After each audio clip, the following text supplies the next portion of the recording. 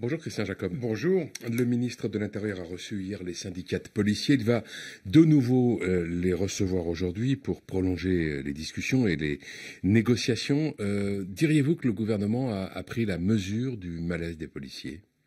Écoutez, je, n'en suis pas certain quand j'entends les, déclarations du ministre de l'Intérieur. Pourtant, je crois que les, policiers aujourd'hui méritent beaucoup d'attention et le, gouvernement ne peut pas se contenter lorsqu'ils sont en, mal d'applaudissements à l'Assemblée de citer les forces de sécurité pour se faire applaudir, euh, faire lever l'hémicycle, tout ça c'est très bien, mais il y a un moment, euh, il faut, la, considération c'est d'abord de payer les heures supplémentaires qui sont dues aux mmh. policiers. 23 millions d'heures. Euh, oui, 23 millions d'heures, je crois que c'est 300 millions, enfin entre 250 entre 250 et, et, 300 millions d'euros, donc c'est d'abord de régler ça. Euh, on ne peut pas continuer à faire faire des heures supplémentaires aux policiers et refuser de les, refuser de les payer. Donc la considération, c'est celle-là. Il y a une négociation. Ils veulent des mesures aussi plus pérennes, plus dans la, dans la durée, quoi, qui prennent en compte leurs difficultés, leurs conditions de travail, leurs équipements aussi, qui sont Tout à fait. souvent très déficients. Des, des, équipements euh, bon, euh, qui, qui, sont parfois au bout du rouleau, avec euh, des, des, voitures qui ont des kilométrages invraisemblables. Mais tout, tout, cela, je pense que tout le monde peut bien comprendre qu'il y a des, des, mesures pour l'étaler dans le temps. On ne va pas le faire par un claquement de doigts, ça se fait dans la durée. Mais payer les heures supplémentaires dues, c'est quand même le minimum que l'on doit à nos, à nos policiers. Les mesures sociales qui ont été annoncées par le président de la République le 10 décembre vont être examinées ce matin au Conseil des ministres. Le premier volet de mesures annoncées, euh, celui-là par le Premier ministre Édouard Philippe en novembre, au début euh, du mouvement des Gilets jaunes, euh, notamment sur la question du chèque énergie ou de la prime à la conversion automobile, ce premier volet sera finalement maintenu, alors que Matignon avait annoncé en milieu d'après-midi hier qu'il euh, serait supprimé parce qu'il n'était plus tout à fait justifié. Est-ce que cette volte-face est finalement une sage décision? Bah, c'est d'abord euh, un vent de panique euh, à, tous les étages, à l'Élysée, à Matignon, à l'Assemblée avec les, parlementaires, tout le monde bouge au gré du vent. Il n'y a plus de ligne. Il n'y a plus de ligne nulle part. C'est-à-dire que ces aides étaient maintenues, il n'y avait pas de débat là-dessus. Ensuite, dans la journée d'hier, euh, Matignon décide de les, de les retirer. Euh, il y a deux parlementaires qui tweetent, qui réagissent, donc on dit mais non, on les remet. Enfin, il n'y a plus aucun cap. La responsabilité directe, c'est celle du président de la République. On a un président de la République qui ne tient plus rien aujourd'hui. Donc on demande, euh, bah, j'espère que la trêve hivernale va lui permettre de retrouver un peu de sérénité et d'avoir un gouvernement qui soit au travail avec rigueur. C'est la même chose sur le grand débat public. C'est n'importe quoi, annoncé dans la précipitation, avec des changements de pied, en, demandant aux maires d'aller porter euh, le, débat qui est de la responsabilité directe du, euh, gouvernement, c'est-à-dire que de, transmettre la patate chaude à d'autres. Si le gouvernement veut organiser un grand débat public, mais qu'il le, fasse avec la Commission nationale du débat public, mais avec les préfets, les sous-préfets. Ça n'est pas aux maires de se substituer aux représentants du gouvernement. Euh, ce grand débat, alors effectivement, il y a eu des changements. Euh, il ne durera plus trois mois, euh, mais deux. Il ne démarrera plus le 1er janvier, mais à la mi-janvier, il y aura quatre grands thèmes. La transition. C'est donc, pas pour vous reprendre, mais vous dire que de trois mois, on est passé à deux, et de deux, on est passé à un mois et demi. Euh, du, 15 janvier à, début mars, eh ben, ça fait à peu près. Au 1er mars, c'est ce qui nous a été dit encore hier à l'Assemblée, mais, mais, tout change chaque jour.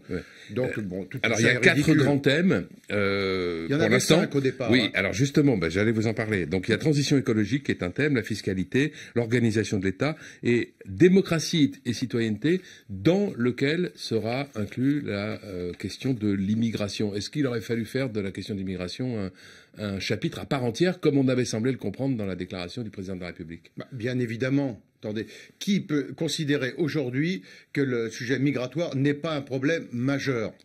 Bien sûr que c'est un problème majeur, pas spécifiquement en France, c'est un problème qui se pose en Europe. D'ailleurs, on, voit bien, vous l'évoquiez euh, dans les, titres de votre, de, votre journal, euh, premier gouvernement européen qui vient de tomber sur le pacte de, Marrakech, le, gouvernement belge. Mm. Euh, le sujet migratoire est un sujet de préoccupation des, des, Français. Et, le président de la République. Mais est-ce que ça a quelque chose à voir avec les, les inquiétudes exprimées par les Gilets jaunes sur le pouvoir d'achat, sur le déclassement social? Bah, le président de la République l'a annoncé, le sujet migratoire. Vrai. Et là aussi, deux ou trois tweets, et hop, vent de panique à nouveau, on le retire, euh, mais on le retire pas vraiment, on dit on l'abordera dans un autre sujet, mais, mais autant l'assumer clairement. Il y a un sujet euh, migratoire en France, et en Europe. Euh, nous, ça fait d'ailleurs partie des, sujets sur lesquels nous, travaillons avec nos, collègues euh, des, partis de droite et de centre droit au sein du Parlement, du Parlement européen et pour préparer les européennes, parce que ce sujet est majeur.